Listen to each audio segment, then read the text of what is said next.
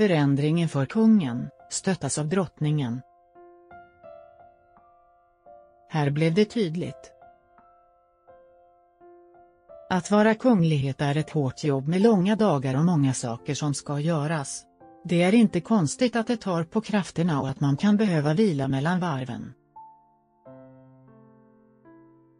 En som måste veta hur ansträngande det kan vara att vara kunglighet är kung Harald.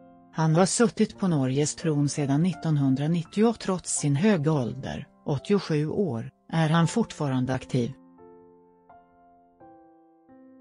Harald har alltid varit en uppskattad och hyllad monark i Norge, även om det ibland har stormat bakom kulisserna.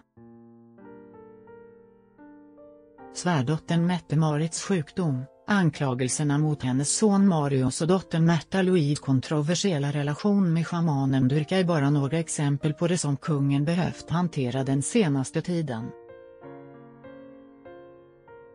Livet som kung har inte alltid varit lätt för Harald, och nu blev det extra tydligt. Förändringen för kung Harald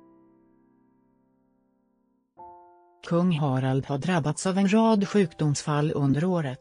I vintras drabbades han av en infektion under en resa i Malaysia och i våras blev han sjukskriven en längre period.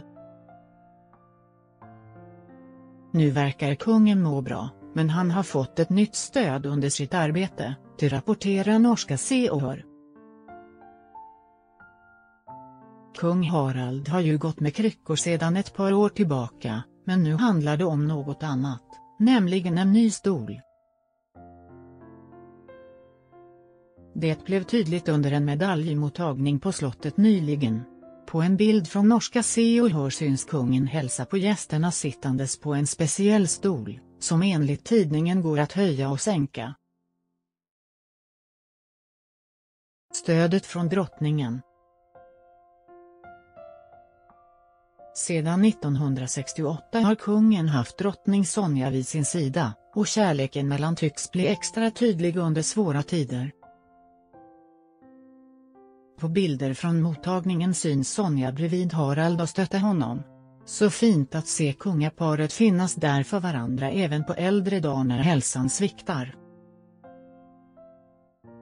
Så bara att kungen kan få hjälp och stöd så att han kan fortsätta sitt arbete.